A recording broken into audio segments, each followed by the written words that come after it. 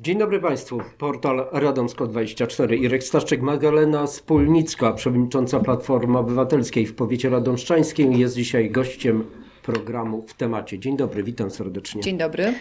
Póki co jesteście jedynym ugrupowaniem, które ogłosiło swojego kandydata na prezydenta miasta Radomska. Dlaczego tak wcześniej? To było czymś podyktowane, jak- jakąś polityką czy jakąś strategią? Nie, po prostu nie mieliśmy absolutnie żadnych wątpliwości od jakiegoś czasu, kto będzie reprezentował e, Platformę Obywatelską w zbliżających się wielkimi krokami wyborach samorządowych.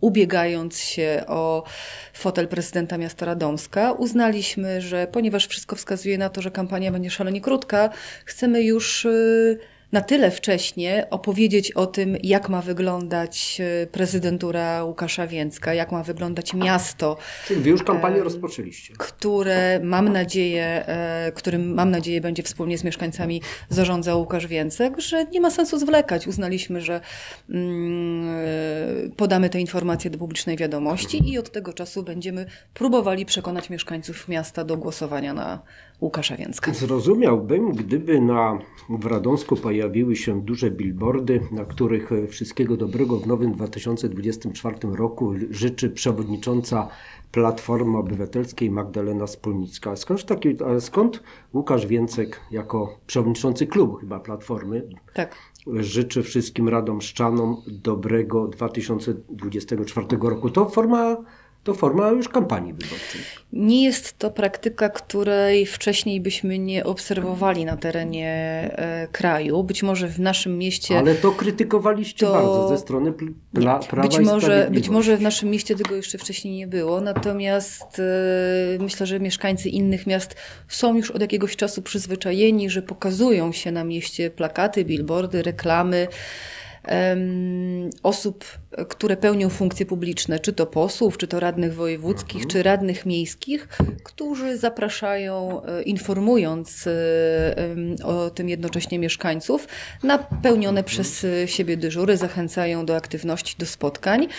I te banery y, noworoczne to były też taką formą zaproszenia przez Łukasza Więcka mieszkańców do większej aktywności, do dyskusji na temat tego, jak ma wyglądać miasto. A nie pamiętacie, jak krytykowaliście Prawo i Sprawiedliwość, gdy już w czerwcu pojawiały się takie billboardy z posłami tej partii, którzy chyba tam bardzo promowali Polski Ład. Wtedy mówiliście, że to jest pod płaszczykiem tych billboardów, to już jest e, kampania wyborcza, e, parlamentarna kampania wyborcza, co nie powinno mieć miejsca. Jeżeli to były osoby, które nie pełniły absolutnie żadnej funkcji publicznej, a miały być e, jedynie kandydatami na posłów, to wydaje się, że jest to oskarżenie uprawnione o obejście zasad dotyczących prowadzenia kampanii wyborczej. Natomiast jeżeli są to osoby, które pełnią już funkcje posłów, funkcje, tak jak powiedziałam, radnych miejskich, wojewódzkich, powiatowych, nic nie stoi na przeszkodzie, bo jest to normalne narzędzie do tego, żeby zachęcać i informować mieszkańców, wyborców e, do spotkań, do pracy i do współpracy z takimi Czyli osobami. trochę, trochę zdania członków, e, przedstawicieli Platformy Obywatelskiej, a przewodniczącej trochę mi się to mijają. A to z tego względu, że Marek Rząsowski przekonywał mnie to w rozmowie, że to nie było nic innego jak bardzo kurtuazyjne zwrócenie się do Radomszczan i życzenie nowego, dobrego 2004 roku przez radnego Łukasza Więcka. Tylko ja sobie przypominam, że w 2023 roku nie widziałam takich billboardów. Być może jest to początek dobrej tradycji, która będzie kontynuowana w latach kolejnych. Której już później nie będziecie, nie będziecie krytykować. E, inne życzeń partie, składanych. Nie, in, jeżeli inne partie przyjmą taką formę przed innymi wyborami. E, Panie redaktorze, jeżeli którykolwiek radny, miejski, powiatowy, prezydent, starosta zdecyduje się umieścić e, plakaty czy banery wyborcze na terenie miasta czy powiatu, życząc mieszkańcom wesołych świąt, Bożego Narodzenia czy Wielkanocy, absolutnie żadne z nie tych działań nie ja będzie, zgadzam. mało tego, jeszcze finansowanych z własnych środków, nie będzie to absolutnie właśnie podjęła podlegało dyskusji. Podjęła Pani ten temat, y, który chciałem zapytać. To w końcu Łukasz Więcek sfinansował te duże billboardy, czy Platforma Obywatelska? To- Łukasz, bo to Łukasz są też Więcek. dwugłos jest Łukasz chyba. Więcek. Bo ja z tego co wiem, to słyszałem chyba, że raz, że Łukasz Więcek, a drugi raz słyszałem, że to Platforma Obywatelska. Nic mi na ten temat nie wiadomo, Czyli żeby finansowała. czyli Łukasz Więcek z własnej Absolutnie kieszeni tak. Zapłacił są, za te wszystkie- To są e, środki Łukasza Więcka. Dobrze, Magdalena Spólnicka będzie startowała do e, Sejmiku Wojewódzkiego? E, Nie podjęłam jeszcze decyzji co do swojej aktywności w wyborach e, samorządowych. Rozważam różne opcje. E, Mam jeszcze chwilę czasu, żeby A się co Pani by zdecydować. odpowiedziała Radomsz, Radomszczanom, którzy by, czy mieszkańcom Radomska, którzy by zapytali Pani Magda, dlaczego Pani nie startuje na prezydenta miasta Radomska? Jest Pani bardzo rozpoznawalną osobą. Panie redaktorze, start w wyborach prezydenckich nigdy nie był przeze mnie rozważany. Ten rodzaj jakby zaangażowania No, czy startowała Pani? w ostatnich e, latach nie. Mój start w wyborach no prezydenckich mówię, w to było. tak. Tak, tak, tak, Mhm. To było zdecydowanie e, lata temu i moja sytuacja e, jakby życiowa, zawodowa była wtedy zupełnie inna. W tej chwili ona jest diametralnie inna i ten rodzaj e, aktywności. Myślę, że nie jest w tej chwili możliwy, dlatego e, nie rozważałam tej propozycji e, i tego pomysłu. E, Niemniej jednak nie mam wątpliwości co do tego, że Platforma wystawiła w wyborach prezydenckich najlepszego kandydata i namawiam i gorąco przekonuję mieszkańców miasta do oddania ma kampanii. Mm, Jeszcze nie ma kampanii, Mhm. natomiast nie mam co do tego wątpliwości, że rozmowa na temat wyborów e, w wielu domach w Radomsku się już toczy. Czy to wsparcie, to co powiedział Arkadiusz Ciach na briefingu prasowym, że popiera kandydata na mm, prezydenta Radomska Łukasza Więcka, to już jest zaklepane? To jest poparte jakim, jakimś dokumentem, czy po prostu tak troszeczkę przed szereg Arkadiusz Ciach wyszedł, jak to jest w jego zwyczaju?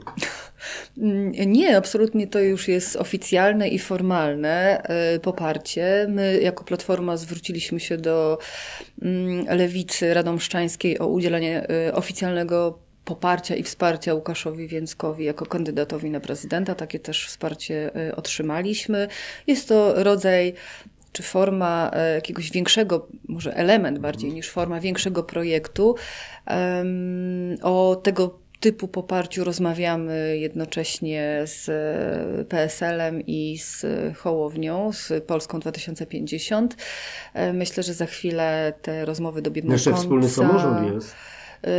Wspólny samorząd nie jest ugrupowaniem, y, z którym łączą W nas sferze jakieś waszych wspólne... zainteresowań. Tak, to Nawet nie to chodzi o zainteresowanie, ale wspólne wartości, wspólne, wspólne poglądy. Jesteśmy nieco w innym miejscu. A jest Pani w stanie zdradzić, czy będą jakieś comebacki, jak w przypadku na przykład Jakuba Jędrzejczaka, który już tutaj na portalu Radomsko 24 deklarował, że WYS będzie startował Tym razem ze list wspólnego samorządu. samorządu. Dlaczego Pani mówi tym razem? E, Ponieważ Jakub Jędrzejczak przez e, większą część swojego życia Był przewodniczącym Platformy był związany z No Platformą Obywatelską. Teraz razem... żałuje, żałujecie, czy żałuje Pani, że rozstał się z Wami? Absolutnie nie. Nie? Absolutnie nie. No, ten przypadek pokazuje, że, e, że można się bardzo pomylić i te pomyłki e, nie tylko wobec kto pana- się, ale kto się pomylił? My, my, my jako Platforma Obywatelska się pomyliliśmy. Tak, w, zdecydowanie w ocenie, mm, w ocenie pana Jakuba Czy go źle oceniliście? Zbyt dobrze. Aha, zbyt dobrze. Zbyt w tej dobrze. Natomiast e, ruchy Jakuba Jędrzejczyka pokazują, że myślę, że to chyba nawet nie jest miejsce i czas już. Nie, jak e, najbardziej. Pan Jakub Jędrzejczak, e, znaczy, może powiem tak, e, drogi Platformy Obywatelskiej Jakuba Jędrzejczaka rozeszły się jakiś e, e, czas temu. temu. E, Obecne decyzje polityczne Jakuba Jędrzejczaka pokazują, że, e, że to bardzo dobrze. E, Najwyraźniej to ze wspólnym samorządem pan Jakub Jędrzejczak odnalazł wspólny język. Aha. Czyli na tym chce Pani skończyć wywód na temat Jakuba Jędrzejczaka. E, No, no cóż tu więcej powiedzieć. Każdy, ktoś prześledził No dobrze, to e, stawiamy kropkę. Bo karierę polityczną i zawodową Jakuba Jędrzejczaka, myślę, że jest sobie w stanie Macie zamknięte już listy do Rady E, Powiatu, Mamy Rady zamknięte, mamy zamknięte już listy do e, Rady Miejskiej, jakiś czas temu je już Mhm. zamknęliśmy. W Radzie Powiatu kompletujemy, zostały nam niewielkie Jakieś znaczące korekty. nazwiska, znane nazwiska, które wrócą do, na scenę samorządową do pracy? Nie wiem, czy one są znane i nie wiem, czy są to... No to niech kilka pani powie. No, skoro Myślę, że jeszcze trochę za wcześnie. No jak ja też... ogłosiliście y, kandydata na prezydenta miasta E, Radomska, kandydatów do Rady Powiatu czy Miasta, trzyma Tak, pani redaktorze, dlatego Dlaczego? że, dlatego, że mm, ogłoszenie Łukasza Więcka jako kandydata e, na prezydenta miasta Radomska było poprzedzone decyzją zarządu. E, W tej chwili ja nie mam upoważnienia do tego, żeby przedstawiać państwu wszystkich Ja kandydatów, nie mówię którzy wszystkie, będą... mówię trzy ciekawe nazwiska. E, trzy ciekawe nazwiska. Tak. Nie wiem, czy one są ciekawe, ale na pewno szalenie ważne dla, Mhm. e, e, dla nas i na pewno na listach do Rady Miasta znajdą Ale się... nie chodzi mi o, o obecnych radnych. No bo to Znajdą teraz- się, właśnie chciałam to powiedzieć, Właśnie. Mhm. i obecni radni, choć nie wszyscy. E, I znajdzie się też wiele bardzo e, świeżych politycznie e, nazwisk, z nazwiska. którymi bardzo e, wiążemy duże e, nadzieje, ale na ogłoszenie ich publicznie przyjdzie nazwiska. czas, panie redaktorze. Jeszcze chwila. Jeszcze chwilę, dobrze. E, Powiem szczerze, dzisiaj oprócz tak, takiej totalnej krytyki obecnej władzy, czyli e, m, ekipy Jarosława Ferenca, to nie słyszę, żeby na tych różnych briefingach czy spotkaniach były jakieś propozycje. Czy znów chwila, czas, powie pani, na, na takie typu działania, czyli określanie tego programu, co chcecie zrobić?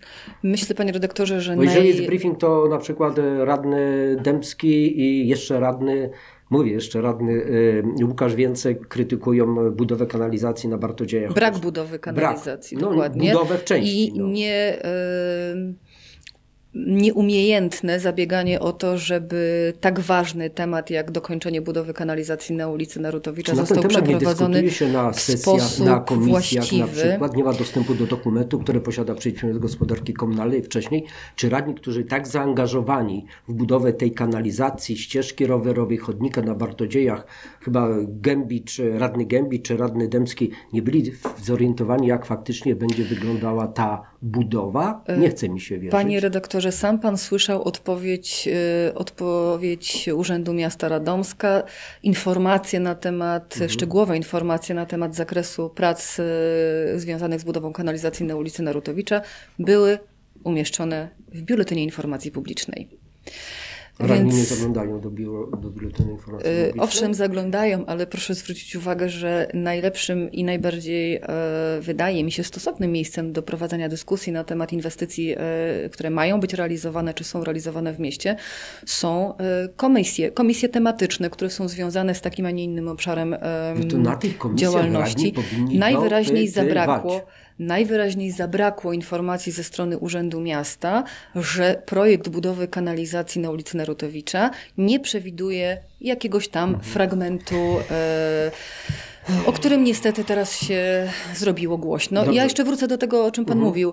To nie jest tak, że mm, my tylko krytykujemy. Krytykujemy to, co uważamy, że y, należy poprawić na takim etapie, na którym jest jeszcze szansa to poprawiać. Ale krytykujesz proponuj. Natomiast y, proponujemy i będziemy proponować. Dzisiaj, za chwilkę rozpoczynamy Mhm. warsztaty programowe z mieszkańcami miasta, y, z członkami Platformy, z kandydatami na radnych, Warsztaty? na których będziemy przygotowywać i jakby oszlifowywać decyzje programowe i konsultować, a dokładnie Łukasz Więcek będzie konsultował rozumiem, z nimi z propozycje, które mają być takim e, szkieletem programowym e, Łukasza Więcka, kandydata na prezydenta miasta. Proszę mi wierzyć, sam pan powiedział, że kampanii jeszcze nie ma, ale my już teraz na tak wczesnym etapie, jako jedyni wychodzimy e, do mieszkańców, wychodzimy do obywateli, rozmawiamy z nimi o tym, jak powinno i jak ma wyglądać miasto, nie tylko w perspektywie roku, dwóch czy jednej kadencji, ale 10 i 20 lat. Nigdy tej dyskusji nie było.